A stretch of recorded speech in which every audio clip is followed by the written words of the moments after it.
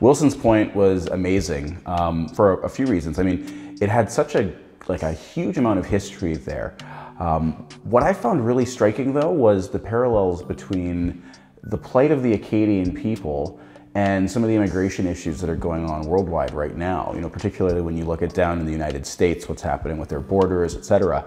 And it, it just, for me, it sort of brought the whole thing from the past into today's reality because we see immigrants being treated, you know, maybe not in the best way. And here we have an example from history where immigrants were pushed to an island, a colony, and then hundreds of them died because of lack of food and provisions and weather and whatnot. So it just, it, it, it really kind of, you, you can look at it and you can relate what happened to the Acadians, some of which is happening to other groups today. So that, that was, that was sort of the powerful point for me.